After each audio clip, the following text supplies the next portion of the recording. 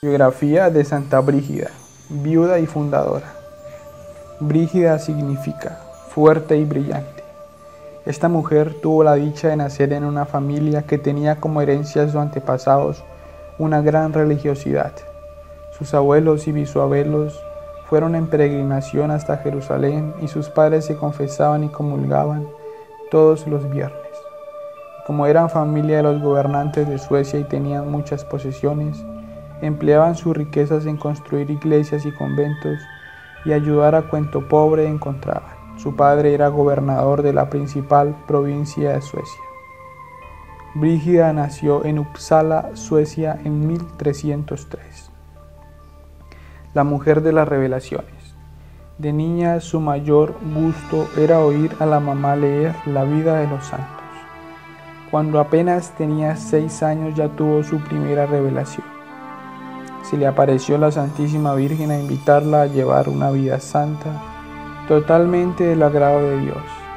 En adelante las apariciones celestiales eran más frecuentes en su vida, hasta tal punto que ella llegó a creer que se trataba de alucinaciones o de falsas imaginaciones.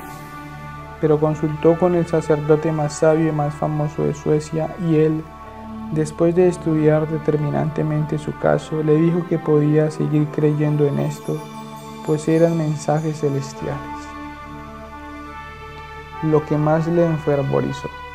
Cuando tenía 13 años asistió a un sermón de cuaresma predicado por un famoso misionero, y este santo sacerdote habló tan emocionante acerca de la pasión y muerte de Jesucristo que Brígida quedó totalmente entusiasmada con nuestro Redentor.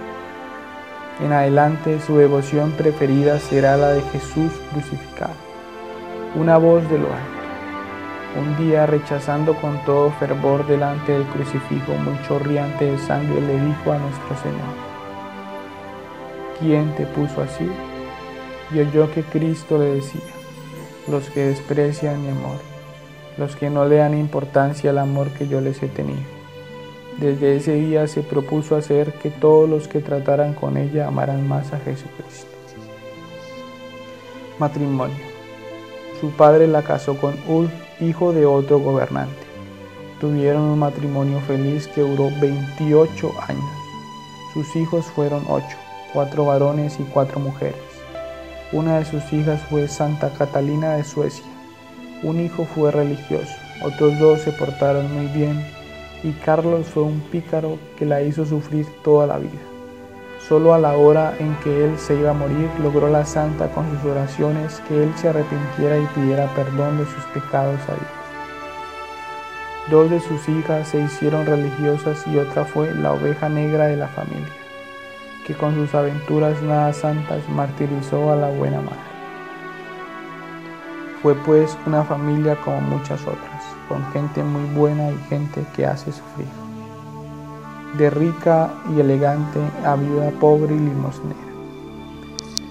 Brígida era la dama principal de las que colaboraba con el rey y la reina de Suecia, pero en el palacio se dio cuenta de que se gastaba mucho dinero en lujos y comilonas y se explotaba al pueblo. Quiso llamar la atención a los reyes, pero estos no le hicieron caso.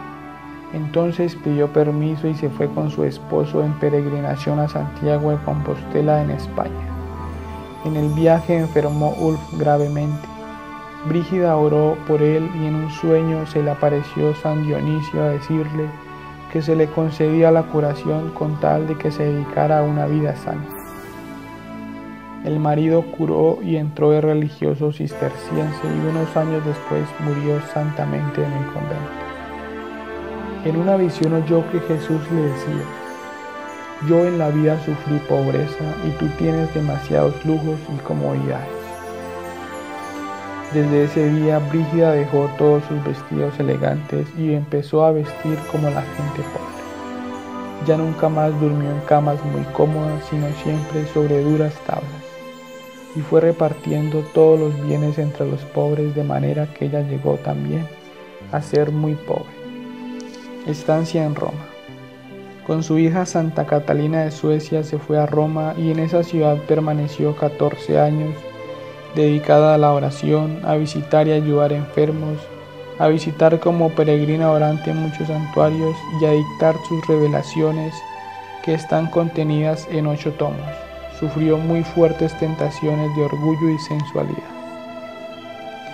Desde Roma escribió a muchas autoridades civiles y eclesiásticas y al mismo sumo pontífice que en ese tiempo vivía en Avignon, Francia, corrigiendo muchos errores y repartiendo consejos sumamente provechosos.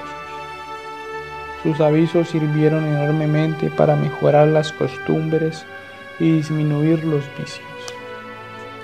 Fundadora. Por inspiración del cielo fundó la comunidad de San Salvador. El principal convento estaba en la capital de Suecia y tenía 60 monjas. Ese convento se convirtió en el centro literario más importante de su nación en esos tiempos. Con el tiempo llegó a tener 70 conventos de monjas en toda Europa. Peregrinación a Jerusalén. Se fue a visitar a los santos lugares donde vivió, predicó y murió nuestro Señor Jesucristo y allá recibió continuas revelaciones acerca de cómo fue la vida de Jesús. Las escribió en uno de los ocho tomos de sus revelaciones y son muy interesantes. En Tierra Santa parecía vivir en éxtasis todos los días. Vuelo a la eternidad. Al volver de Jerusalén se sintió muy débil y el 23 de julio de 1373, a la edad de 70 años, murió en Roma con gran fama de santidad. A los 18 años de haber muerto fue declarada santa por el sumo pontífice. Sus revelaciones eran tan estimadas en su tiempo que los sacerdotes las leían a los fieles en las misas. Dios quiere enviar a su iglesia muchas brígidas que con sus oraciones y buenos ejemplos y palabras logren enfervorizar por Cristo a muchas personas más. Biografía de Santa Brígida.